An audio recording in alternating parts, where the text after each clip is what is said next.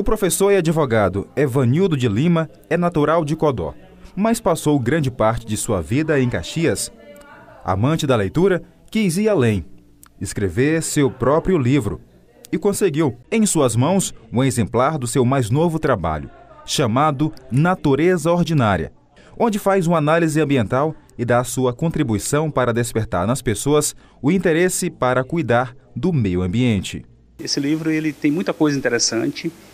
e é uma leitura muito prazerosa. Eu sou suspeito como autor de falar, porém é um livro que no seu prefácio você já sente um diferencial,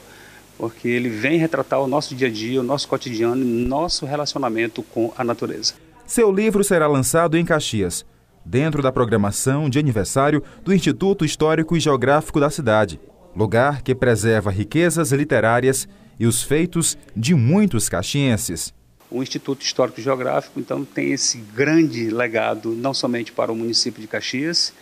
com uma história viva, um acervo maravilhoso, de registros não só atuais, mas passado, de grandes nomes como Gonçalves Dias, que também estudou lá na Universidade de Coimbra,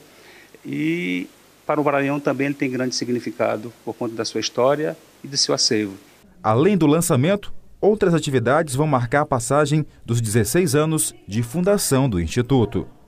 Portanto, no dia 12, na quinta-feira,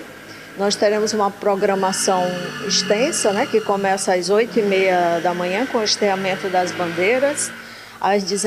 19 horas será a solenidade de posse dos novos sócios. Às 21 horas nós teremos o lançamento do, do, do nosso jornal, do Jornal do Instituto Histórico e do livro do professor e advogado Evanildo, e às 21h30 nós teremos um coquetel. Portanto, estamos convidando a comunidade caxiense interessada em vir é, nos prestigiar nesse dia que é muito importante